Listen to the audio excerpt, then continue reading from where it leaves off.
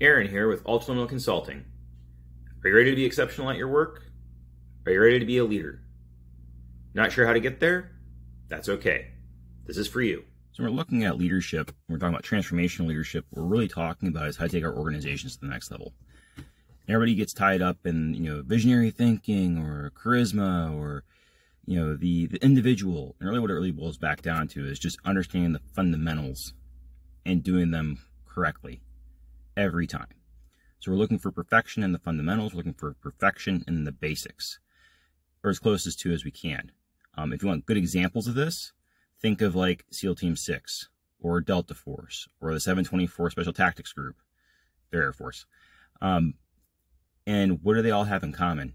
Every single person does the basics with perfection. There, there isn't a question of whether or not it's something's being done. It is done, and it's done right the first time, every time. And so, if you want to build that organization and transform it from being ordinary to extraordinary, where you really have to dial in is the basics. And that starts with you as the leader. You as the leader then have to walk that line. You have to demonstrate that through your day to day actions. You do that through how you accurately prioritize what's supposed to be going on in the day against the company mission.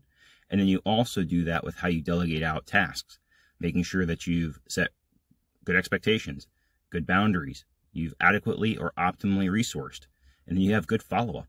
And you're making sure things don't fall through the cracks because you're following the systems and procedures you set in place. And then you're teaching your team, different individuals, different points where they need to work on those things as well. And so you help them mold and craft themselves uh, utilizing that work. And in doing that, what you do is everybody starts learning how to pull back the low hanging fruit. You clean that all up, you get slack out of the line, and all of a sudden the organization is just operating at a different level because everything that used to eat up time isn't anymore. So not only have you gained back like 15 minutes, 20 minutes per task, that's on every single thing. So that, that starts looking like hours a day, hours a week, you know, in some cases you start doing that, you're pulling back, you know, time wise for the whole team, you know, just a team of four, you, you might pull back a whole work, week worth of the work.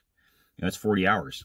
And that's a lot. And that, you know, that's, you know, that's for the organization as a whole, which means then you guys can spend that time working on more creative solutions, working on better skill or task, you know, better skill development for each member of the team, you know, in more specific things. So if somebody needs help in, you know, the administrative side, which is looking at, you know, how does a task come in? How does it actually get disseminated out?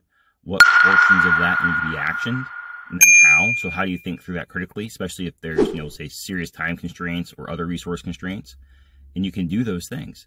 And so, and the goal of it all being that you get it to go from being you're managing those things, the team's managing those things, you're getting pulled out of that, that system. They're running it on the day to day on their own, but it's run with perfection because they know what the standard is. And when you need to step in and help out, you just step in and help out. It's not a thought of, it just happens. And so that's kind of where you go from the ordinary to the extraordinary. Is everything that before had to be a communicated thing, people just know they're just doing it because that's the standard. And so the goal is the basics should really just take care of themselves at an exceedingly high level because they're the basics.